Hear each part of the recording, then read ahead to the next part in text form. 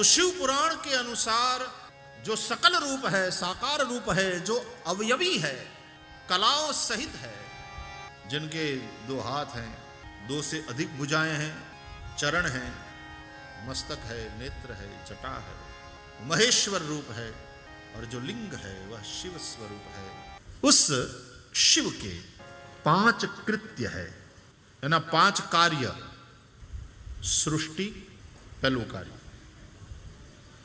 स्थिति बीजू कार्य संहार त्रीजू कार्य तिरोभाव चौथू कार्य अनुग्रह अब पांचवों कार्य उस निर्गुण, निराकार प्रत्यक चैतन्य भिन्न ब्रह्म, जो शिव नाम से अभिहित है, जो शिव नाम से जाना जाता है, वही सृष्टि का कारण है। इसलिए तो सृष्टि के बनाने वाले, ये जो उद्भव करते हैं उसको उस कार्य को कहते हैं सृष्टि और फिर उस सृष्टि का स्थिर रहना पालन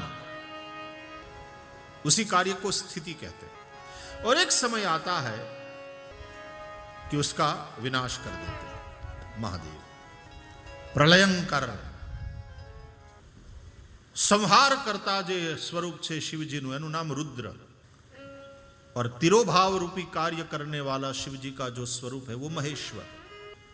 लेकिन अनुग्रह करने वाला जो स्वरूप है वो शिव है। तो शिव जी की कृपा से ब्रह्मा सृष्टि रूप कार्य करते हैं शिव जी की कृपा से ही विष्णु स्थिति रूप कार्य करते हैं शिव जी की ही विभूति रूप रुद्र संहार रूप कार्य करते हैं शिव जी के ही विभूति रूप महेश्वर तिरोभाव वाला कार्य करते हैं और अनुग्रह तो केवल और केवल शिव ही करते हैं। और इसलिए शिव मोक्षदाता।